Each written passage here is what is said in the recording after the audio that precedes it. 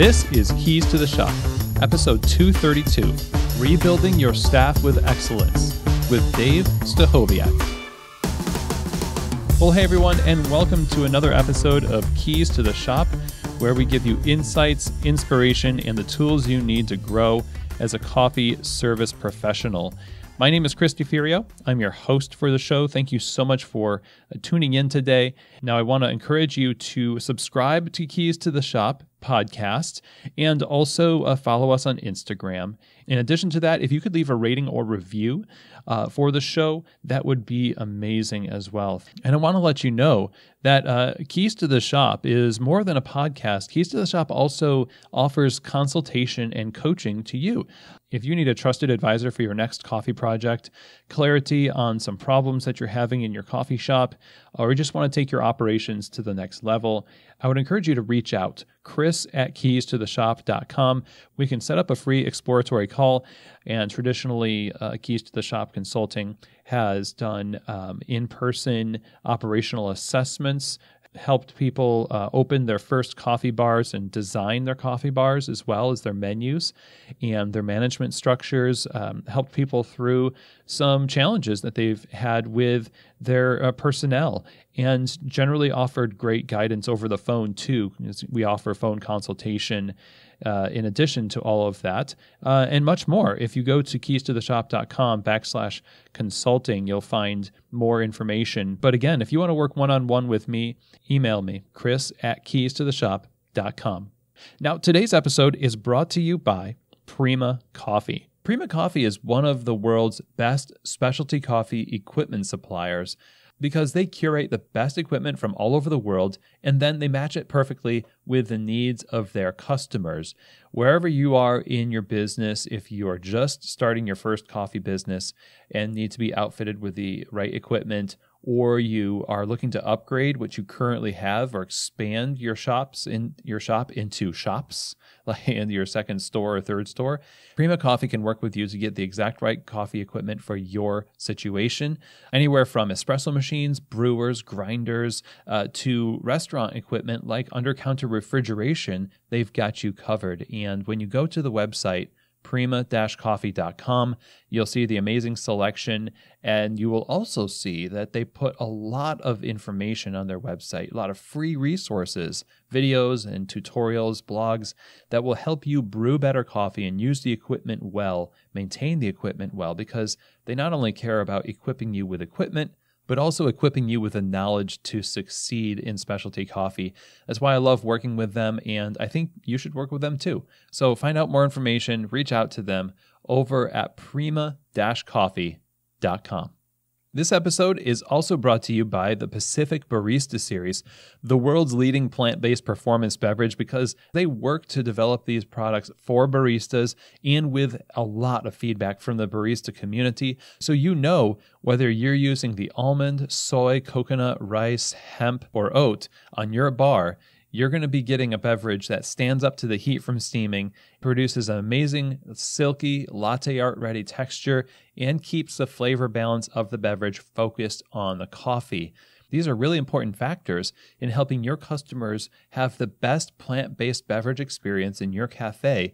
And when you're serving the Pacific Barista Series, you can rest assured that that's what they're getting the best. To find out more information, go to their website, pacificfoodservice.com. Again, that's pacificfoodservice.com.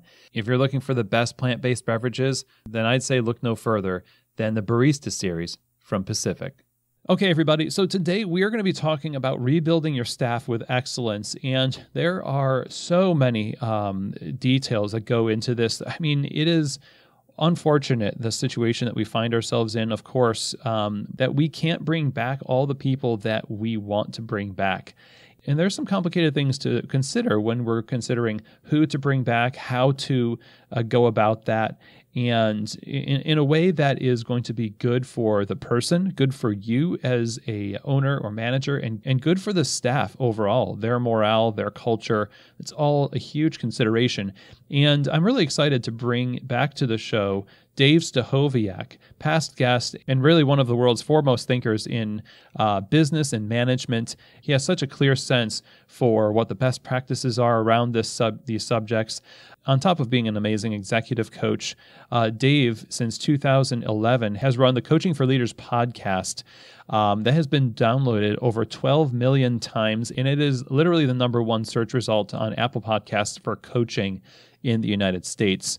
Um, he hosts such people as Simon Sinek, Daniel Goleman, Patrick Lencioni, Seth Godin, Daniel Pink, Adam Grant. I mean, the list is staggering, and the wisdom that you gain from his podcast is just unparalleled. It's always an honor to have Dave on the show, and uh, a double honor to count Dave as as a friend.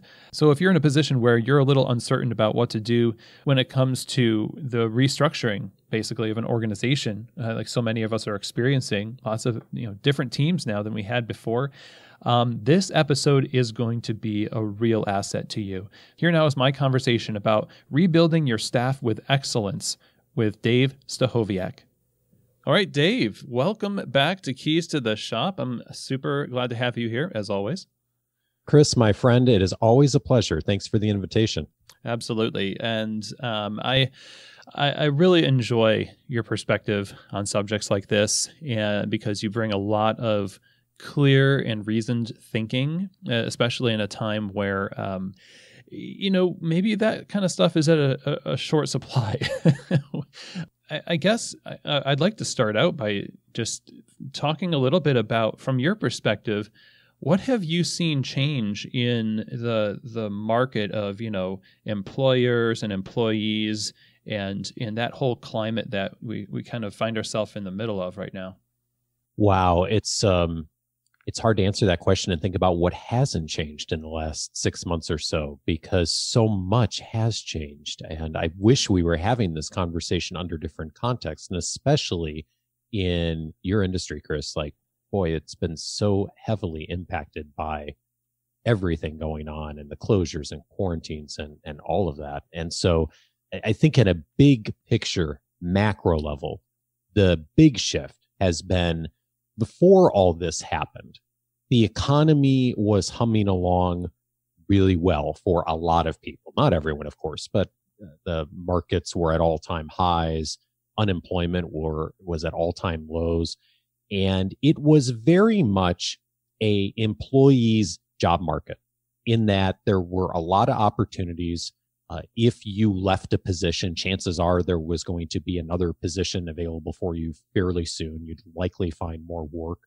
And so uh, the thing that I would hear very consistently from employers was really trying to find and locate the best talent out there. And that has changed a lot in the last six months.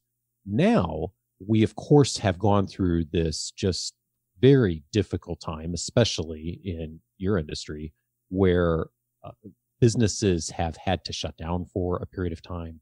Some businesses have already closed. The unemployment rate is at all time highs from uh, from historic perspectives, at least here in the United States. Um, I don't know what the numbers are in other places, but it's uh, but but certainly higher than they were six months ago. And now we find ourselves in this interesting place as business owners where there are uh, there's certainly uh, so many challenges we're navigating and uh, we also have a, you know, strangely a little bit more opportunity in that being more selective with who we bring back into the organization and um, and thinking about what roles would look like and what who we would bring back and what kinds of ways we'd go about that. Whereas we may not have had some of those choices as much five or six months ago. And it's not the reason any of us would want to be in that position. But I think it does open up some consideration for owners and managers that they may not have spent as much time thinking about five or six months ago when it was harder to find people and now thinking about things a little differently as we're all in this big shift of how we think about roles and onboarding people and what it is that we can do to really um, staff our organizations in a way that's going to be beneficial to customers and to grow the business. That's really interesting that we are I think you could argue that we were always sort of thinking about those roles, but now it's there's so much on the line, and there are only so many positions to to give out. Um, I know, uh, you know, where I work, there's a couple of um, you know places out of the you know several cafes that are are not open anymore, and you know there's there's shifting and reshuffling of teams. The teams that you used to have in the cafe are now made up of other people and you know uh, maybe even some new faces but uh, maybe faces from other shops and the cultures are shifting and uh, that is is really seemingly an, uh, a situation where urgency is being felt by you know managers who have to put people on the schedule. And um, I, I wonder if you could just kind of it, elaborate a little bit on the kinds of considerations that um, managers and and owners are having to make now, uh, and what what kind of thinking are we subject to right now in the midst of this this crisis that we should probably be aware of in order to make good decisions? Well, I think to answer that question well, let me go back to what we just said a moment ago on the environment. And I think the thinking for a lot of leaders in a lot of situations. And certainly the economy in the way it was six months ago was, wow, I need another position filled or someone has left and I need to bring someone in very quickly because um, I'm going to have a hard time finding someone. So the tendency is to uh, be able to bring on the first person you can find. Um, and when it's an employee's job market, you tend to be a little bit more um, you tend to be a little more lax with your expectations and um, and who you're looking for and do they fit the role perfectly. And you might make a hire fairly quickly before you've really thought a lot of that through.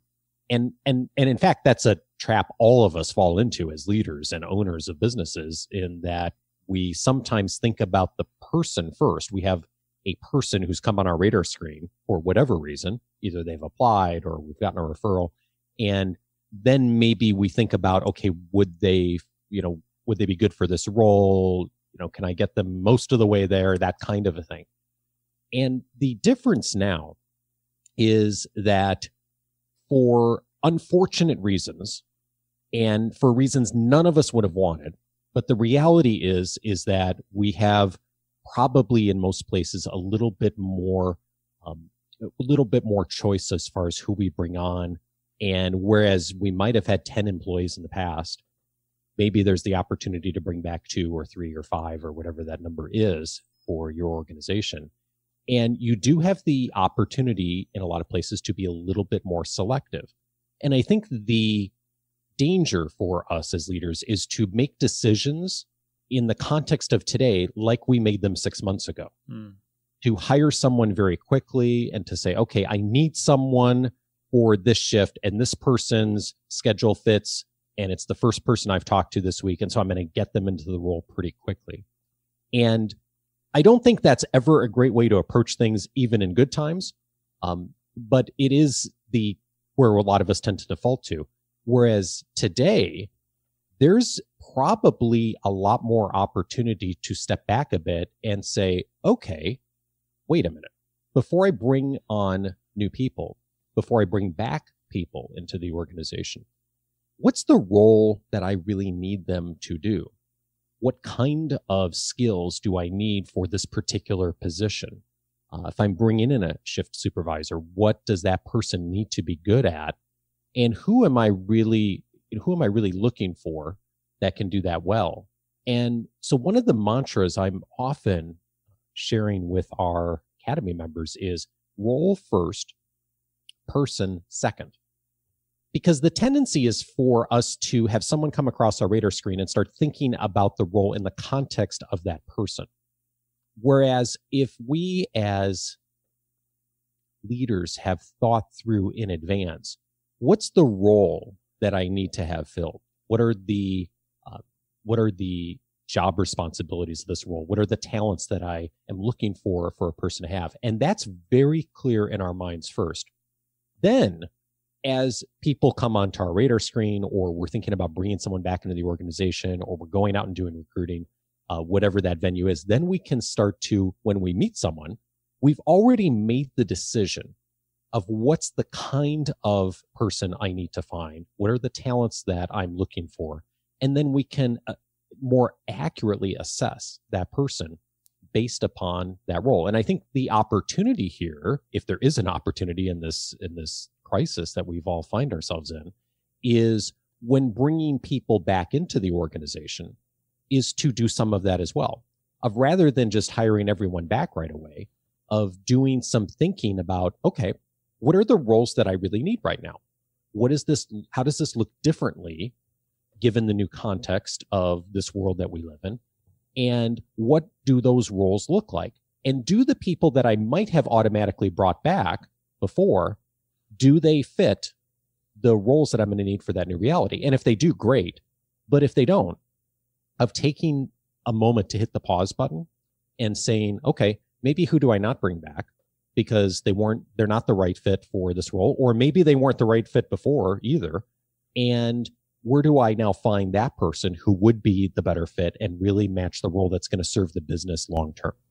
That's a key right there, long term thinking instead of that short term, you know, just pulling the trigger on the decision to bring a person back because you like them. And in coffee bars, it's really a, um, a unique situation because there's a lot of camaraderie, a lot of elbow to elbow work where the culture is really thick and there's a lot of familial, you know, elements that drive us to make those types of decisions.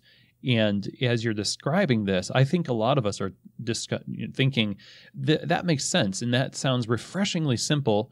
However, um, there's this, you know, the, when it hits the atmosphere of the the you know usual environment of my decisions, there's a lot of atmospheric drag. You know that momentum that we've had of making you know less than you know calculated decisions for a long time because we we could get away with it and now we can't. So it's it's not really second nature to us to do that. So on top of having this like really critical time in our business we're you're asking us to be very a, a little bit more analytical than we're used to being. So we're way outside of our comfort zone. So i guess maybe uh, bolstering that a little bit for people by saying like well what what do we win in the long term by by doing that? So that it can kind of get us over that that hump of you know maybe not bringing back that person that we didn't we, we really wanted to but it didn't make sense. And if we had the, our way we would have done it and then maybe long term it wouldn't have worked out. But talk to us a little bit about the long term benefits and and some of the downsides to you know not going with that more reasoned approach to to uh, restructuring and bringing people back? Yeah, I think like so many things in life, it's um, uh, you know a pound of prevention is worth, uh, or an ounce of prevention rather is worth a pound of cure, right? So if I'm willing to do a little bit of work and take a little bit of the pain up front, then long term that's probably going to serve me better and reduce a lot of frustration and a lot of uh, time down the road. And every single one of us in this conversation, you, me, Chris, um, and everyone listening has hired someone in the past and had that thought in the back of their mind, like, uh, I'm kind of thinking maybe this person isn't the perfect fit for this role, but I really need someone, right? Mm-hmm. And and then sure enough, like three weeks, four weeks into it, two months into it, you're like, oh man, I so wish I had not hired this person. And it's not that that you can't potentially dismiss them and, and exit them out of the business, but it becomes so much more difficult to the point you just made. Once someone has interacted with the staff and knows customers and is part of the culture, becomes so much more difficult to make a decision at that point then for them to exit the organization than it is to not have hired them in the first place when you could have foreseen the issue in advance. And all of us have been caught off guard. It doesn't matter how good a job you do hiring, there are going to be times you're going to make bad hires, right? But there are some situations that you can see coming. And I know there are times I've seen things coming and I just didn't want to face the problem. Um, I think back to years ago, I was managing a part time staff and I had, um, in my situation, I was wanting to elevate someone uh, who in our part-time staff who was going to become um, a bit of a shift manager and would supervise other part-time employees and he was 80% ready for the role but there was this 20% that um, he was a little bit arrogant in his personality. And some of the other staff members um, really, he kind of rubbed the wrong way with that arrogance that he would he would bring into a lot of his interactions. And I was I was sort of convinced that I could solve that problem yeah. by spending some time with him. I can change him. Yes, exactly. Because um, I am all powerful, so I can change this person, of course.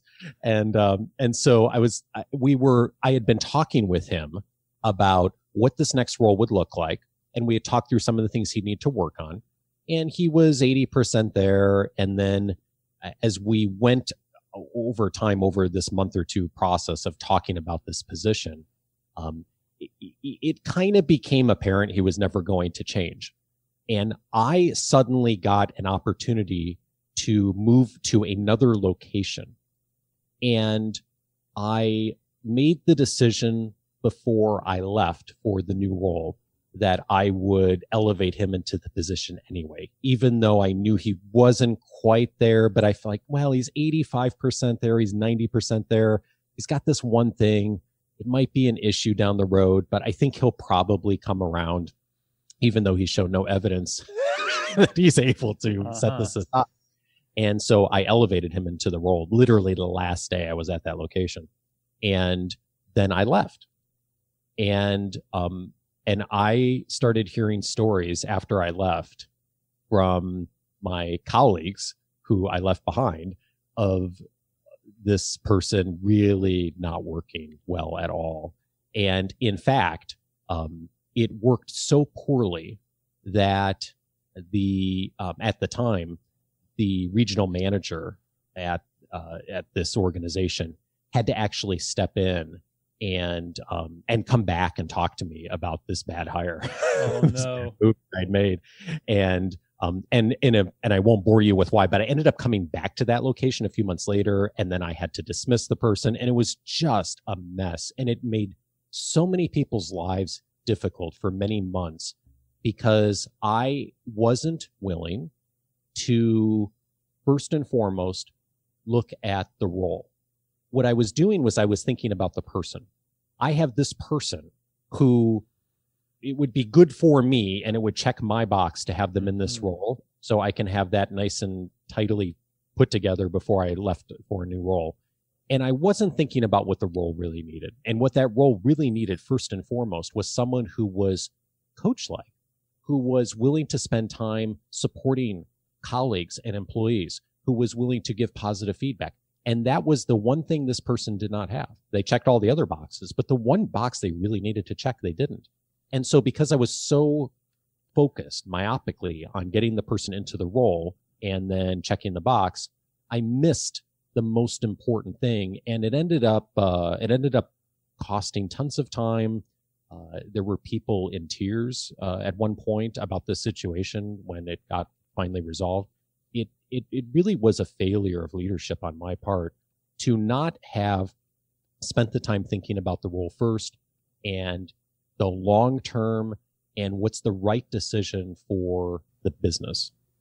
There are so many intertwining parts in that story, Dave. And as you're telling it, I'm just like I'm shuddering. the last day, and you just leave, and like you know have have fun with this person. Have no idea how it's going to work out, but yeah, uh, it yeah. seems similar to how a lot of owners put put managers into place in new locations in a cafe. They say, well you know, sometimes there's a there's nepotism involved. It's like this is my brother or this is my friend, and they have a lot of experience outside the industry that's going to help us here or whatever. Or or sometimes it's someone from within the organization, and because you're not part of the culture of the you know day to day operations, you have no idea like the nuance of this person. You just see the you know, you know, for lack of a better word, they're maybe a good brown noser, and they can, you know, convince you. So, yeah, I certainly have experienced that type of thing where people are willing to put another person into a, a position. Um, but the ramifications, it seems like there's not only did you suffer uh, and the business, but the employees did as well. And uh, that person, him himself. Like I'm sure in a different circumstance, that uh, individual could have flourished um, in in spite of whatever shortcomings he had. It just wasn't the right position for him. So it seems like there's there's a lot more to consider than simply what you know is is saying straightforward. Well, what does the job require? Um, it's almost like we have to consider who is being impacted by this job and what do they need from it.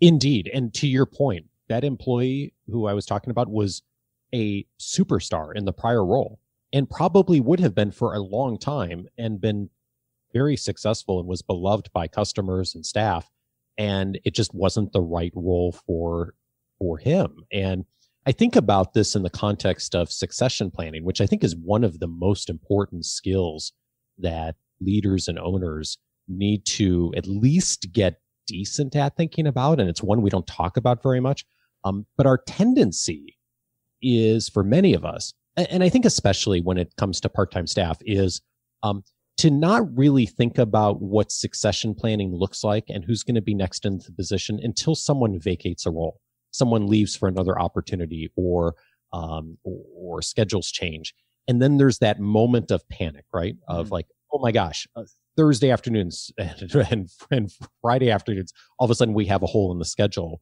and and then we need to find the first person we can find that we think would be a good fit and um, and and bring them in. And and to some extent, there's always going to be the reality of that in a in a biz, in a coffee business, certainly.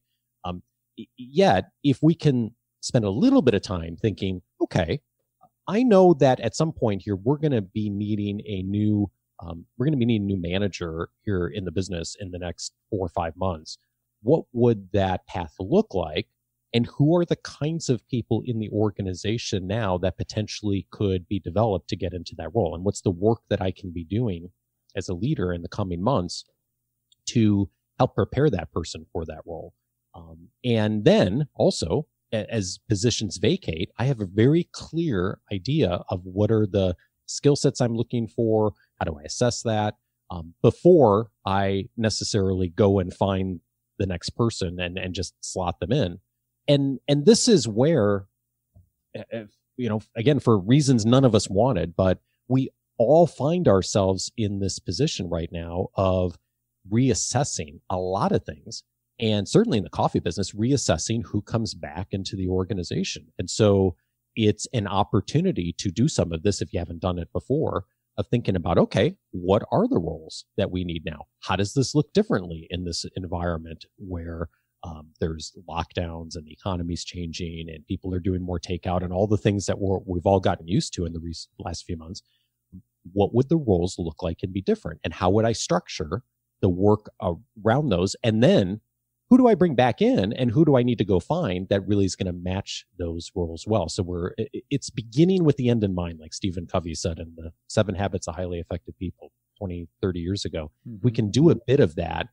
It's not going to eliminate the bad hires. It's not going to eliminate us making doing the short term thinking, which we're all we're all certainly capable of doing many times. But it it puts a pause, and it helps us to be a bit more mindful about making smart decisions for the business that are going to serve us long term. Yeah, absolutely. You know, the idea of um, who am I going to bring back and and what do you want to reintroduce to this? Uh, you know, it's an opportunity that's a bittersweet one, as we say.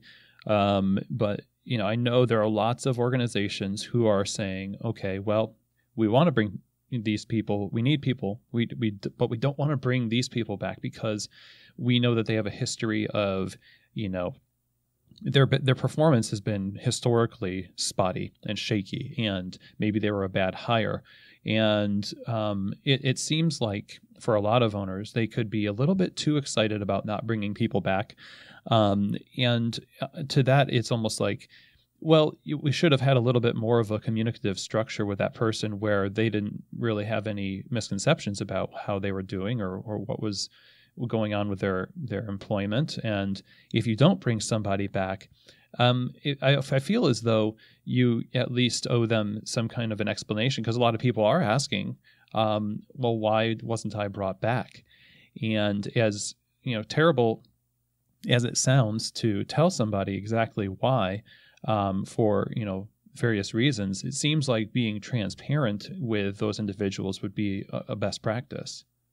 I'm all for transparency in any way we can do it and being authentic with people. So, um, ideally, if someone's not meeting the standards of the role, we're having that conversation all along hmm. with someone.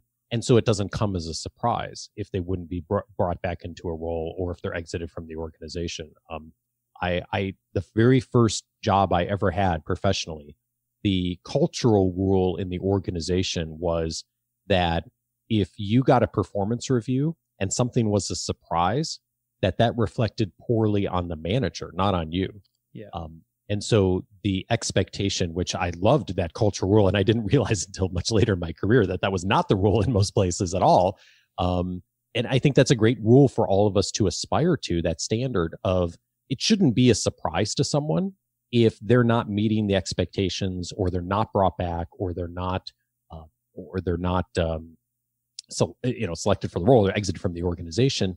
That should be, uh, that should be a foregone conclusion, maybe because of the good communication you've had all along. Now I say that out loud, and Chris, I know there's people listening to that thinking like, okay, well, I didn't do that over the last six months. And so, uh, you know, we can't go back in the past, of course. Um, so I, I think this is where the reality of time and resources it just has to come into play of do you as a business owner at this time of crisis have the time to be able to give feedback to people who may not come back into the organization and to give an explanation and to spend the time to do that. And I think if you have the bandwidth to do that and the ability to do that, um, fabulous. And that would be a wonderful thing to do for people. And if you haven't done it yet, um, doing it now is more helpful than probably not ever doing it. Mm-hmm. Um, that said, you know, this is a, a huge shift for all of us and um, I, I think that it also is an opportunity for you to hit the reset button and to say, well, you know what? Um, there's every organization like this is going through this right now. And um, this is an opportunity for you to do a bit of a reset and not necessarily have to give everyone an explanation as to why you're not bringing them back into the organization um, because there's so much that is changing. And the context for why people are not coming back is multifaceted and complex as it is right now. Hmm. And so, um, yeah, I, I, and I think that's really a personal decision for each leader, for each owner to decide how and when they want to have those conversations. Uh, but the invitation I would make is regardless of how you handle that situation with people who may not be coming back, um, and what that looks like and what those conversations are, of making the commitment going forward to saying, hey, if I have someone who's not meeting expectations, then I'm going to start having that be a regular conversation. That I'm going to have um, coaching conversations. I'm going to use something like the accountability dial. Has, has Jonathan Raymond been on your show, Chris? Yes, yes. I, I, thought so. So that would be a wonderful resource for folks to go back and look in your library on. Uh, Jonathan's great on this wonderful process of making mentions and making invitations to employees when they're not meeting expectations. Also, when they are meeting expectations, it can be used in a positive way too. And so if you're not already in the habit of doing something like that, I think that's a wonderful place now to start as people are coming back. Here's an opportunity to do things a little differently than you've done in the past and be giving regular feedback so that when things aren't working, it's not a surprise for people. And they do have the choice to change or to exit the organization, but they know why that's not working. So we're not just re um, uh, organizing the business and restarting things in the business. We're restarting things with how we conduct ourselves in the business, and it certainly is a um, a red flag to have those kinds of oh that's right i never did talk to them about that but i do kind of not want them to come back even though we never had that yeah. conversation so it's it, it's an indictment uh, uh, but also an encouragement to say well now you have an opportunity to, with this new crop of people to do the right thing and and make it a, a culture in an environment of, of feedback communication and that that um, good relationship and as jonathan raymond says uh, you have the opportunity to have good authority in your role. Um, I, I want to come yeah. back. Oh, go ahead. Well, I was just going to say one other point on that. I mean, it, you know, it's such an unusual situation. And this is where I think it's really personal for each leader. I mean, if, if someone's been out of work for two or three months and then you're making a decision then not to have them come back, you know, I, I think that's really personal as far as how you handle that of what do you say? How much do you say? Um, it, so that's going to vary a lot by organization. But I think the bigger invitation would be going forward, make a decision to give that feedback, to think about the role first, um, and to uh, and to be doing coaching regularly. Because if you if you use this opportunity, and when in every crisis there's opportunity. If you use this opportunity to make a shift for yourself, if you haven't done it before for whatever reason, um, here's the opportunity to have the reset button and say, okay, going forward, now as we're coming back, now as this business looks different, I'm going to make a commitment to once a day um, to find something to give positive reinforcement on, and once a day to um, to find an opportunity to make mentions and to do cor- some corrective coaching. If you're not doing that already, that'll be huge for your business going forward. Yes, absolutely. Uh, well said. I, I, I wanted to kind of go back to what you were t- talking about with succession planning and like who's going to replace these people in these roles, especially with like management, is a huge one. Um, when managers leave, it's almost like we we have this um, ability to put somebody in place and then be like, boy, that's really nice that they're there, and then forget about it until they're gone and kind of wake up to the reality that either we are going to be the manager or somebody else that we haven't really been paying attention to that much has you know got to take that place. Um, one of the things that I find it, it happens is there's well, there's not a lot of places for people in coffee bars, for example, to go in terms of advancement. We're trying to work that out in different levels, and it becomes pretty granular to like barista, head barista, you know, shift lead, and we create lots of little, you know, intermediary uh, leadership roles to try to fulfill that desire for people to advance in such a small organization. You know word spreads quickly when you've got just a staff of 10 people. Uh, how do you go about not um, defrauding people I, I, guess? Like leading them on to say like their their management material like can you observe them and really make a good assessment of their ability to be a manager or even willingness to do so without promising something to them that will potentially not even materialize? Well, I think the first part there is not promising something that may not materialize. And this is where role first comes into play. And this is where I got in trouble with that story I shared from 20 years ago is I created a role, created in quotes, a role that probably should not have been there because I was trying to appease a single employee versus thinking about it first. What does the business need? So I think the, the mistake most of the time is to start creating roles just around a particular person or just to retain someone for another six months then that's where that becomes complicated. And by the way, I, I have done that before and it has worked. Um, so I'm not saying that's, you can never do that. I just think it's something we should be really cautious about of creating roles just around a particular person, and especially with a part-time staff that becomes, it becomes very resource intensive and potentially dangerous for a small business to, to begin to do that. Um, rather, it's starting with, as a business owner, what are the roles that this shop needs? What does that look like? What are the two or three or four roles and being really realistic with the career path, what that looks like or what it doesn't look like so that people have a clear sense of where they may go in the organization or not and what the opportunities are. Um, so that's first and foremost. And then I think part of it too is also from the owner standpoint or the leader of the organization is spending some time thinking regularly about however many roles those are two, three, four of thinking about who within the organization is capable of stepping into those roles. And I learned, uh, I learned a, a, concept that I thought was really helpful years ago from Carnegie that uh, when doing succession planning is I would often, if I was thinking about someone for a role, long term, uh, six months from now, a year from now, possibly moving into a new role, is um, one helpful exercise to go through is to take out the job description for that role.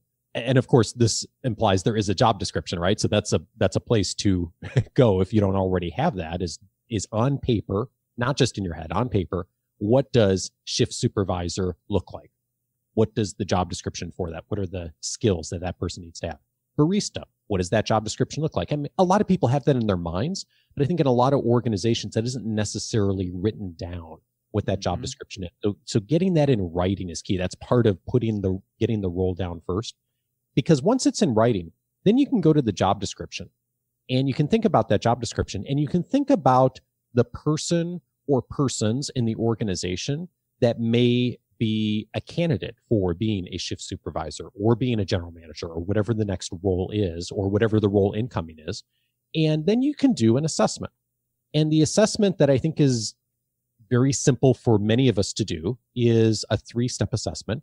And it's just an ABC. And the A assessment is um, on this particular part of the job responsibility, um, or on this particular uh, this particular part of the job role. This person is competent and they're ready to do this today. B would be this person is not yet ready for this particular skill set or this particular um, step on the, the job role, but they probably will be with some development at some point in the future. And then there's the C rating, which is this person is probably never going to realistically be able to do this part of the role or responsibility, right? And so for most people, as you assess them and you're looking at roles, there's going to be a lot of, you know, A's, B's, and C's. They're going to be all across the board. And so just taking the time to go through that, if you've got a couple of candidates for a position and thinking through, okay, what are the skills that this person needs for this role? And how do they stack up? Are there a lot of A's? Are there a lot of B's? And that way I know that this person could potentially develop into that, but I'm going to need to spend a bunch of time to do that? Or are there some C's of things that this person's probably never going to be good at? And could I live with that in this role? Or uh, is that something that's going to be a deal killer that there might only be one particular skill in this role that this person's never going to be able to do well? But is that a core competency for the role that I simply can't make that exception for? And, and then when you make an exception, you're doing it consciously. So you, if you, someone comes into the role and you know that they don't have the skill sets in this thing, then that's where you may make the adjustment or you might have someone else do that part of the job. Um, but again, this is all coming back to Chris role first, right? Mm-hmm. So what does the role need?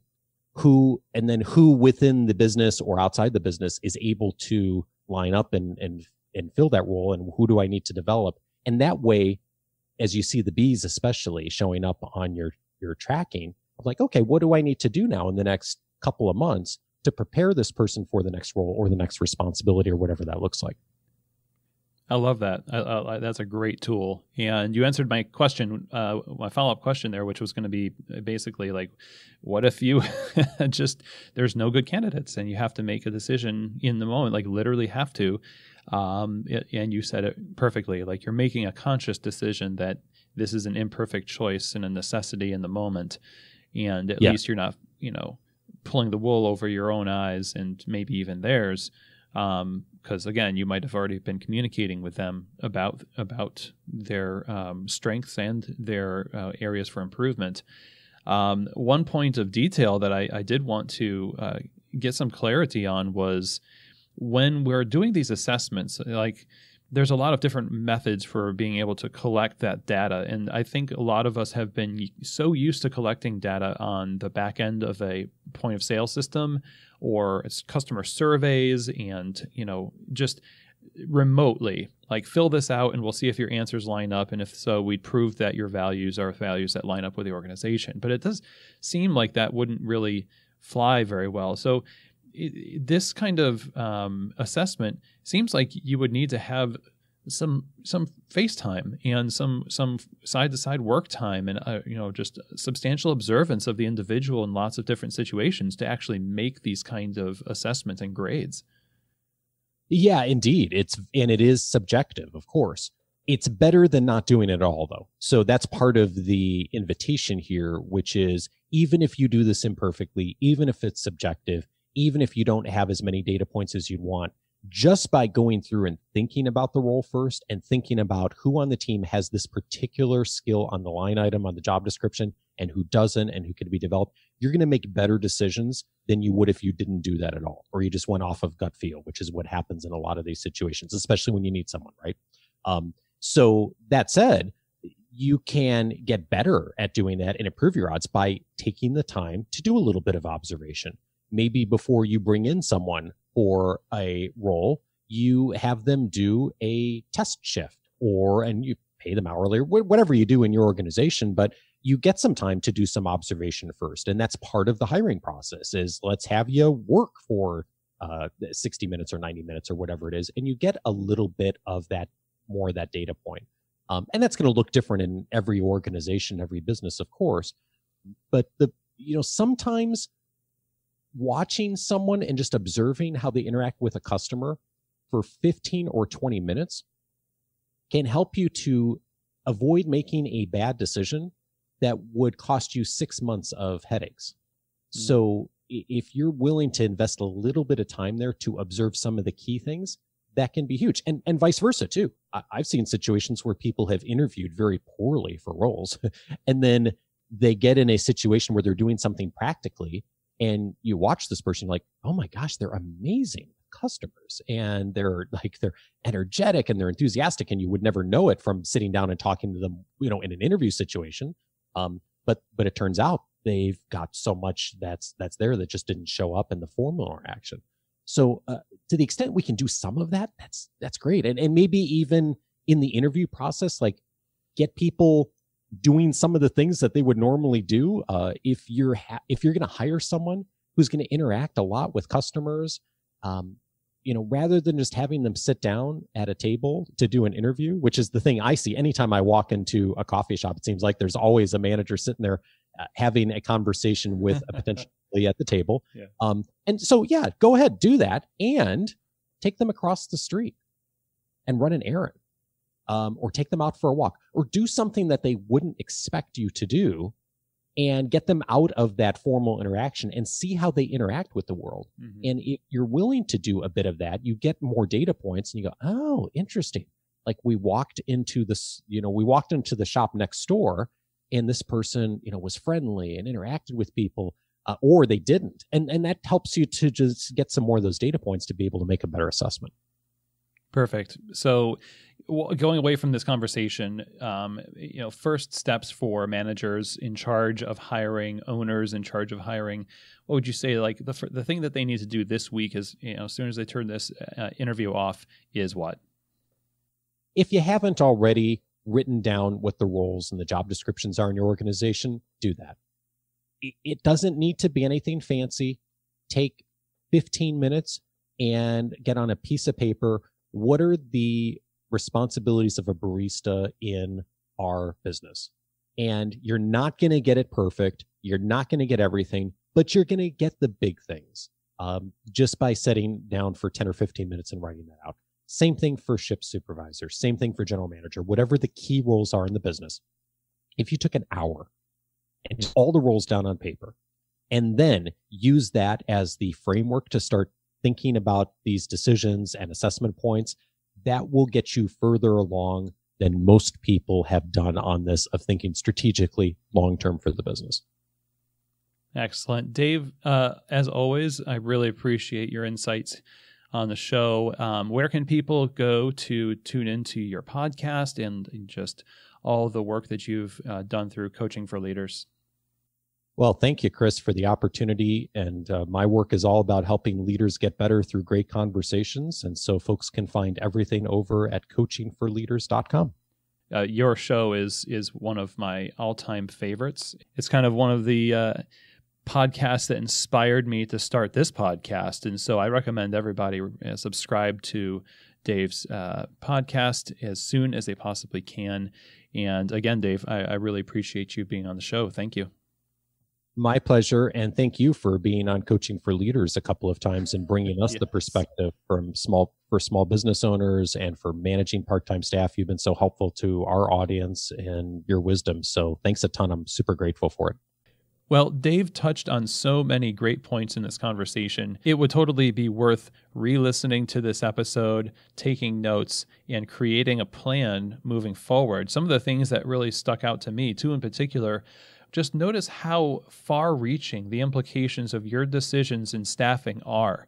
The uh, people that are working in the cafe, uh, the customers, yourself, the business, um, the individual that is either a good hire or not a good hire, or the individual who got promoted that maybe shouldn't have been. There is a lot riding on these decisions. And to that end, the second thing is creating a framework that you hold yourself accountable to for thinking through this type of decision is so critical because we're human beings and especially in the coffee bar environment we are prone to getting you know emotionally involved in these decisions and making really quick judgments based on that. And without some kind of a tool or framework for thinking that is uh, kind of a third party then we're going to be subject maybe to perpetuating those decisions. And you know the point made about how we conduct ourselves as leaders from this point forward, not only do we have the opportunity to bring in um, staff that are uh, better fit for the organization and the right fit for different positions, but we have the opportunity to change who we are in the organization going forward. Um, and hopefully, you have enough self knowledge and realization about what those things are for yourself, and they definitely impact the organization. So, a huge thank you to Dave for joining us again on the show. You can find the link to uh, coachingforleaders.com in the show notes, as well as Dave's past episodes. And uh, I'll include links to uh, my past episodes on uh, coaching for leaders as well. And if you haven't subscribed to Coaching for Leaders, I would highly encourage you to do so. Um, Dave has, uh, uh, it's like an Alexandrian library of, of amazing professional and business insights on that podcast. And so uh, definitely subscribe to it. And thank you again, Dave. We really appreciate you. Now, if you have any questions for me, uh, you want to reach out, Chris at keystotheshop.com, feedback, uh, comments, etc. Uh, again, if you want to work with Keys to the Shop consulting or coaching, uh, whether that's just over the phone coaching that you want to sign up for, uh, or or in depth, where we get to work on your menu, we work on your business structure, uh, work through some issues. The sky's the limit, really. So reach out, Chris at keystotheshop.com. I'd love to talk with you and see if uh, working with Keys to the Shop is the right fit for you. Uh, coming up on Shift Break this week is going to be a Shift Break as sort of a uh, companion to this episode. We're going to be going over how to write a good job description. This is one of the things that Dave had really encouraged us to do. And there are some elements I think that you're going to really want to have in your job descriptions as you set out to create those this week. And so tune in on Thursday for uh, creating job descriptions on Shift Break, and hopefully that will, will help you in this process. And with that, that is the uh, end of our show. Thank you so much for joining me. I appreciate every single one of you. And as always, I hope that this episode has truly given you keys to the shop.